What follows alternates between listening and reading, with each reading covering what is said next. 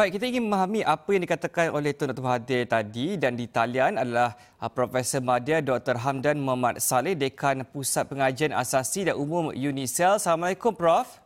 Waalaikumsalam warahmatullahi Baik, Tun malam tadi pada mukadimah ucapannya uh, menekankan uh, PPBM Parti Perkauman. Kebimbangan beliau adalah Melayu merempat di tanah sendiri kerana tidak kuat bekerja. Namun ada yang kata ahli politik juga perlu elak buat janji yang tidak mampu ditepati. Pandangan doktor?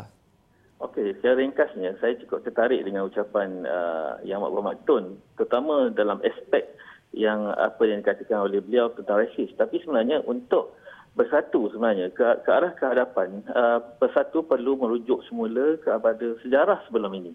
Iaitu pertama tentang uh, apa ditulis oleh uh, Tun itu sendiri dalam Tun dalam uh, Dilema Melayu umpamanya orang Melayu punya keinginan untuk memperkukuhkan hak yang dibetulkan kepada mereka yang dianggap milik mereka tapi di samping itu mereka yang juga bertimbang rasa terhadap hak orang lain. Ini uh, beliau tulis ketika uh, menulis buku Dilema Melayu dan ini sebenarnya ada kaitan dengan apa uh, yang disebut semalam tentang kuasa. Di mana Zakbar uh, menulis tentang orang patut-patut. Orang patut-patut yang uh, punya kuasa dan perlu melihat kembali ke, ah, kuasa itu ke mana digunakan. Dan saya melihat Bersatu perlu belajar dari aspek itu untuk mengelak uh, Bersatu uh, kembali uh, seolah-olah menjadi parti yang yang diganti sebelum ini.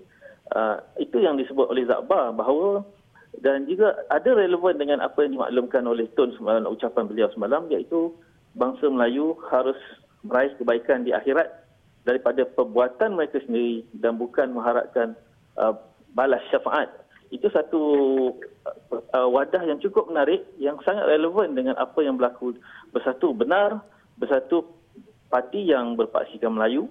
Tapi dalam Malaysia yang baru ini, parti ini perlu kekal relevan dan perlu bergerak ke hadapan dengan melihat apa yang berlaku di sekitar demografi politik. Demografi politik yang berlaku sekarang dan ini akan menjadi satu paksi yang perlu bersatu bersedia. Baik Prof, kalau dikira daripada prestasi PRU yang lalu, uh, PPBM belum mampu pikat pengundi Melayu kerana tewas di kebanyakan kerusi yang ditandingi.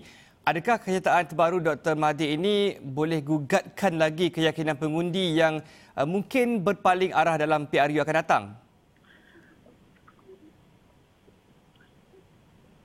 Ya, seperti saya maklumkan tadi bahawa untuk melihat kepada uh, uh, kepada isu ini uh, satu sejarah sebelum ini iaitu bersatu seolah-olah dilihat sebagai apa yang berlaku dalam uh, konflik uh, apa UMNO sebelum ini itu dengan semangat 46.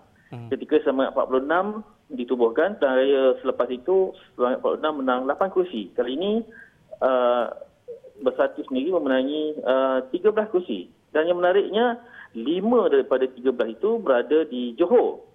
Dan untuk untuk itu, uh, Bersatu perlu melihat kepada aspek uh, politik baru bahawa pembinaan persepsi itu perlu diteruskan. Persepsi bahawa uh, Bersatu membawa hak-hak orang Melayu tanpa meminggirkan hak orang bukan Melayu. Kerana uh, dalam pilihan raya sebelum ini, pilihan raya PRU 14, uh, pengundi bukan yang berpaksikan kepatian.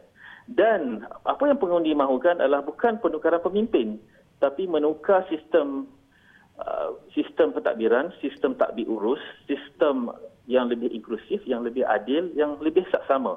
Hmm. Itu bersatu perlu imbangkan antara bangsa dan antara negara dan juga untuk memastikan uh, semuanya bersifat inklusif dan mampu memenuhi kehendak pengundi tanpa memberi kesan kepada hak-hak orang Melayu yang sentiasa menjadi paksi kepada persepsi dan juga uh, keinginan bangsa ini. Baik, baik terima kasih Prof.